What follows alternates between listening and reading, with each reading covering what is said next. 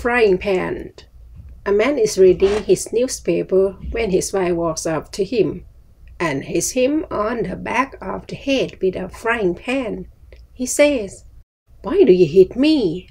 There was a piece of paper in your pocket with the words Betty Sue on it. He says, Honey, Betty Sue is the name of the horse which I want to buy. The wife doesn't say anything. Three days later, he is reading his newspaper again.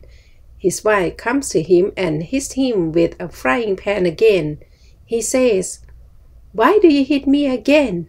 She says, Your horse is on the phone.